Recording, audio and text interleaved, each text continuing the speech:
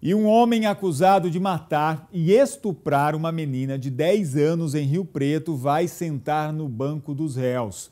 Carlos Eduardo dos Santos virou réu depois da justiça aceitar a denúncia do Ministério Público por estupro de vulnerável e homicídio, homicídio qualificado. O promotor descreveu na denúncia que o réu matou Micaele dos Santos para assegurar a impunidade do abuso sexual.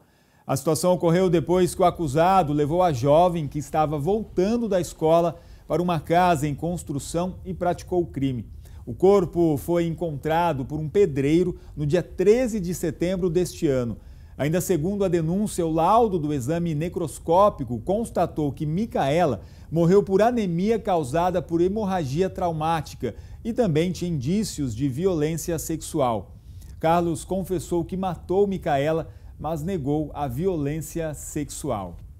Ele foi levado para o presídio em Lucélia e aguarda a audiência do processo marcada para o dia 14 de março do ano que vem.